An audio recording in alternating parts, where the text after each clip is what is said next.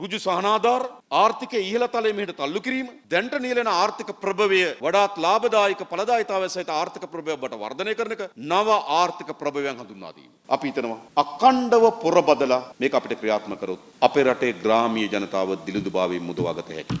අවශ්‍යතා කීපයක් තිබෙනවා.